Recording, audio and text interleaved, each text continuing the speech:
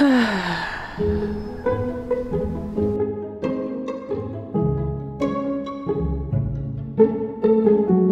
previous video where I organized this all into this roll format, which I still love so much. I can easily see every single fabric I have. And the point of that was so that I would not forget the fabric I have and make the mistake of continuing to buy new fabric to work with. We've got some lightweight mesh, we've got some satins, we've got some twills and cottons, we've got some spandexy, stretchy knit print gunmetal things, various faux leather interfacing lining fabrics, fancy fabrics is what I called this section, and then heavy warm stuff plus blue tulle. Okay, we just posted help us choose a fabric for the next video. We've got a few different categories to help us nail down the preferences. Julia's coming over in a moment, so let's see what you voted for. First, the people want lightweight fabric.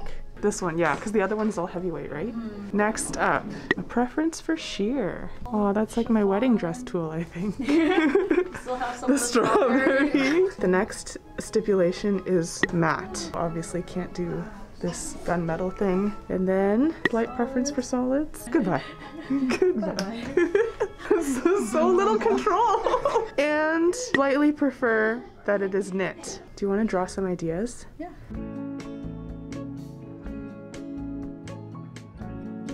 We have our drawings. Mine is a combination of big collars, balloon sleeves, everyday lingerie.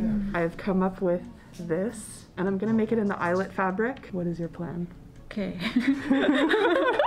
kind of doing all like the cutouts and strappy um, details, doing a drape across the chest area. Flared sleeves, which I really like. And then also I'm gonna do like the these godets on the hips. It's also gonna be in all white. I'm planning to use the white mesh fabric. Because I decided on that fabric, I was inspired by uh, Catherine Bowen, which is like a Toronto designer. The seam allowance is basically gonna like show through the mesh and kind of create like piping. Yeah, like kind of like a piping. Yes, I guess we will cut our fabric.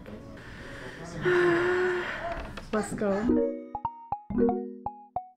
If you've been watching my channel, you've seen us use this drafting kit before. I'm using the Lutterloh kit, which takes just one body measurement and turns it into a giant collection of patterns that they've developed. For my blouse, I picked a pattern with a fitted bodice and a collar, and I traced out a front, a back, and a collar piece. I skipped the sleeve because I want to do my own sleeve design. The front has a large dart to accommodate the bust, and for a drop shoulder effect, I extended the shoulder by 8 centimeters, and I also lowered the armpit by 5 centimeters for comfort so they have a new curve connecting them. Same with the back of the bodice, 8 centimeters out, connecting to a 5 centimeters drop at the armhole. For a garter strap detail, I added this little extra bit on the front and the back that will hopefully come together once the darts are sewn shut. And here is how the collar pattern looked. At this point, I realized I would not have enough eyelet fabric, so I added this sheer floral fabric, which was also not enough, so looks like we're finishing all of my white cotton fabric today. While we measure and cut our fabric, I'm giving a quick shout out to this video sponsor, ThredUp!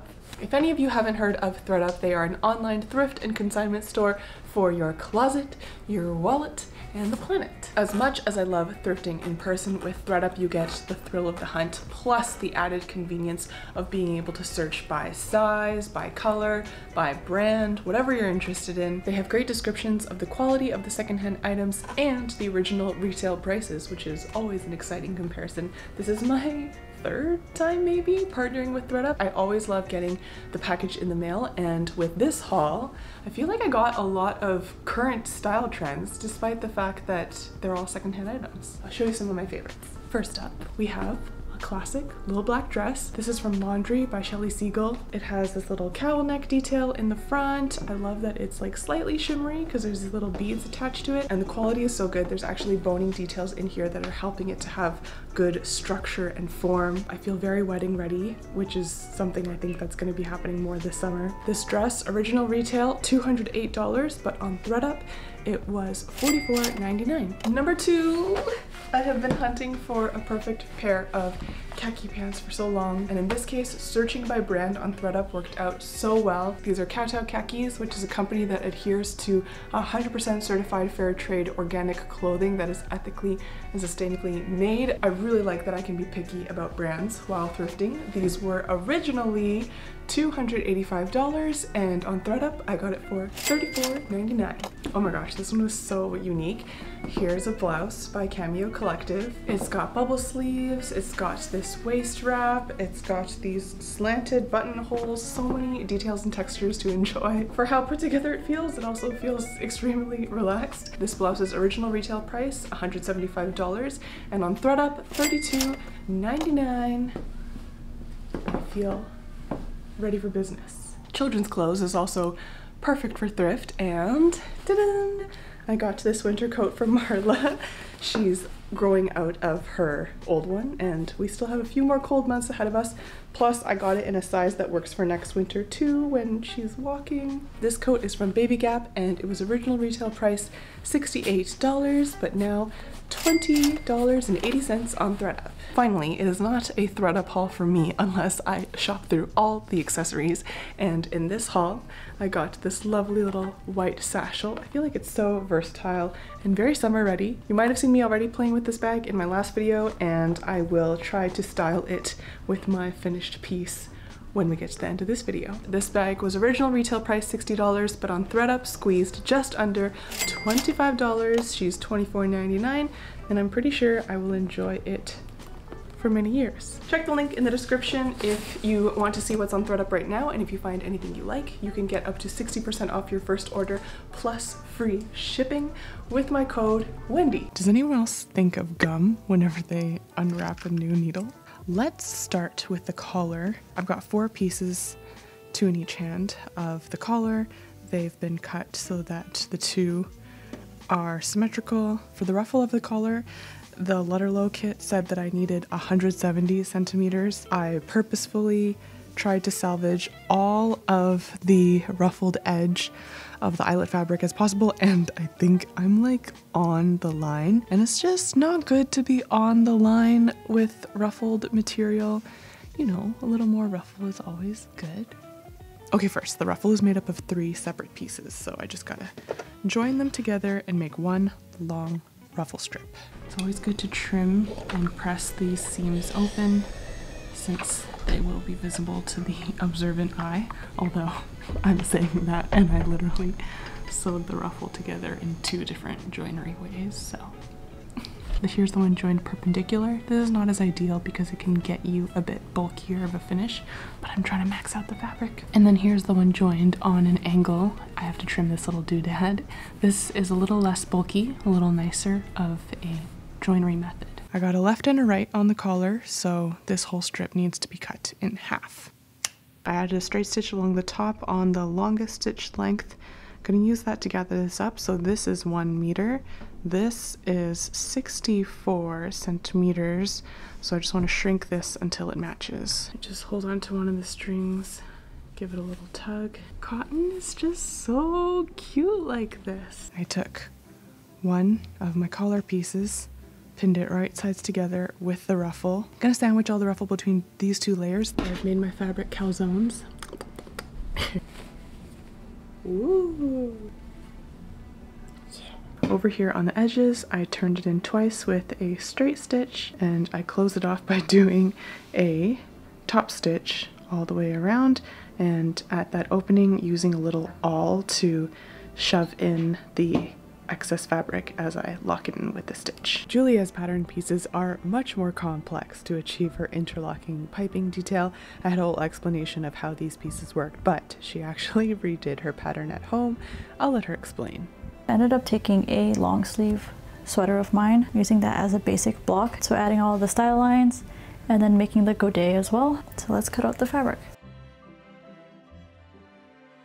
I'm going to be sewing the front pieces together and the back pieces together. So my order of operations is to start by serging down this piece and down these two pieces.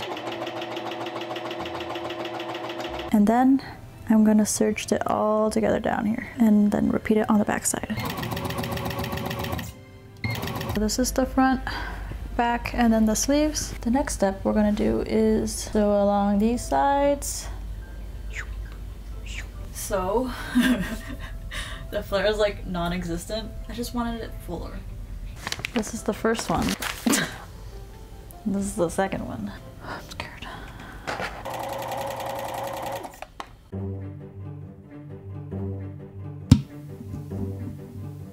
We got two symmetrical backs, two symmetrical fronts. I closed off all the darts. Typically, I just draw a line for where the seam is supposed to be for the darts. Then I try to pin through that line on both sides so it just naturally brings the seam in alignment. Sew it down from a straight stitch and it goes from a flat fabric now into one that's got a little shape, little contour to match the body. And then the other good thing to do is to press the excess fabric towards the side of the body or away from the center. I thought that was all the prep I needed for the bodice, but then I realized with these like fancy little garter strap things, I think I do need to line it. So then I repeated everything in another layer of fabric and then I ran out of fabric. So in the spirit of not buying any more fabric for this project, just pulled out some satin. I gotta join the bodice together at the shoulders, right sides together, and at the sides right sides together. Drop shoulder is definitely at the length I wanted. I feel like this at some point I would like to trim and reshape. So here's the sleeve. It's not as flared as I wanted it to be, so I'm probably gonna add a godet just like on the side.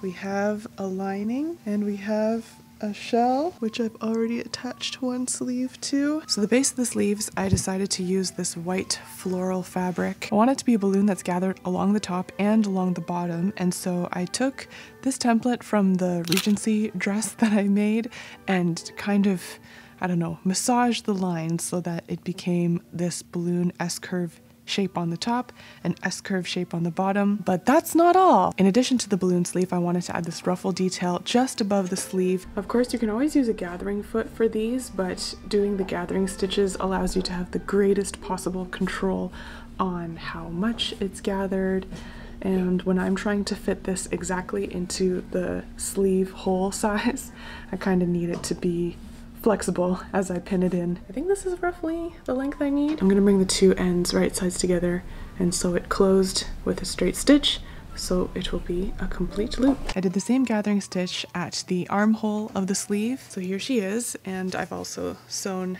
the inner arm. I'm gonna pin everything together at the armhole. This right here is the armpit, this right here is the shoulder, and there's three layers in total. We have the outer shell, the ruffle trim and the sleeve. You can just sew with a straight stitch and hope everything catches and it's all good. Ta-da! This is exactly the effect I was hoping for. I've got the shell and the lining right sides together. We're going to go across the entire neck hole, across the two fronts, join it together, and the part I'm dreading across all of the garter straps along the bottom. I can picture it working in my head, but I'm not sure if it's gonna work out in real life. Alrighty. The shell and the lining have been sewn together with a straight stitch all around the neck, front opening, every single strap-a-doo. I remembered that this was my best opportunity to give a final assessment to the shape height opening of these curves that are in between the straps. I recall wanting the front one to be a little bit higher. What do you think? Did I make the right choice?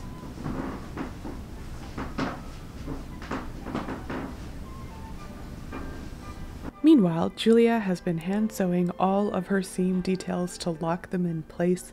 She's adding a beautiful drape on the chest. She's finishing her shoulder straps. Julia really is doing the most, and it's amazing. I successfully understitched my entire lining so it would look professional. I flipped everything right side out to see for the first time if it all looked good, and I poked and pressed all the edges to get them sharp and crisp. I'm scared to curse us by saying this, but I think we are almost done. Hey, Julie, help me buy this hook and eye tape. I'm gonna use this to close the entire front, which combined with the garter straps was just meant to evoke a little bit more of that like lingerie inspiration. Just gonna sew them to the front opening and try to make sure they all line up horizontally because we don't want to go askew at this point in the game.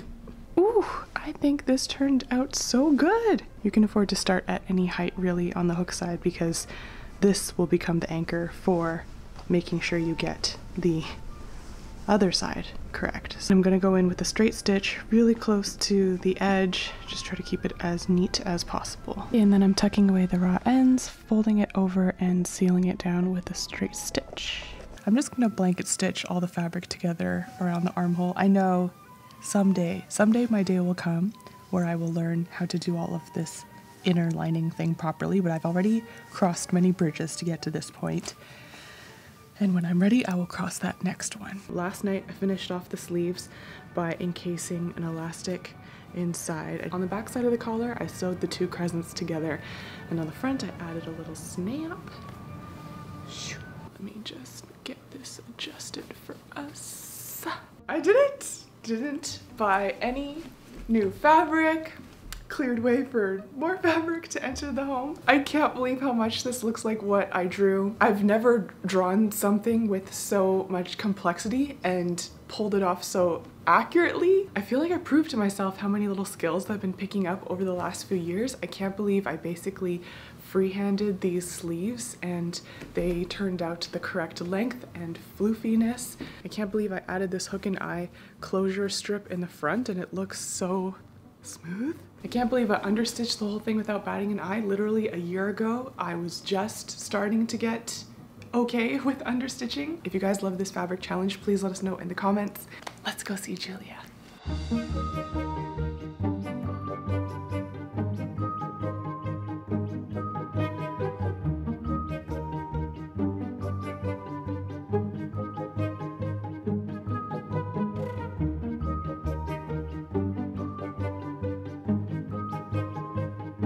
You guys are as amazed as I am by what Julia has sewn. To be honest, we were joking that if the Olympic figure skating committee would like to contact us for fits, we would be down. Don't forget to open the link in the description to shop ThredUp right now. You can get up to 60% off your first order and free shipping with my code Wendy, so I hope you find something you love. I'll see you all in the next video. Bye-bye!